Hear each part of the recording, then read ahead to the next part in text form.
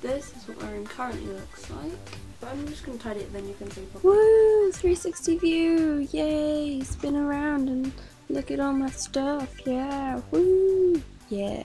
So when you come in, you have a mirror, then you have all the shit from Nail Varnish to Art Fixative. Then there's a calendar that Kelly made me of all my stupid faces and my wad of gig tickets for this year. And then we have my guitar, my mandolin, my ukulele, and my keyboard. DVDs, DVDs, CDs, CDs, CDs, iPod. Then another guitar and another ukulele. Coolest freaking bed sheets ever. Teddy bear. Doctor Who poster. Thanks, Rachel. Desk, books and stuff. Shelves. Uh, here's me in year 11 and the rest of my year. There's like 200 of us. Um, posters, posters, posters. Art stuff, college stuff. Sums up my room.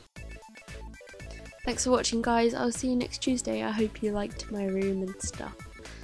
Bye!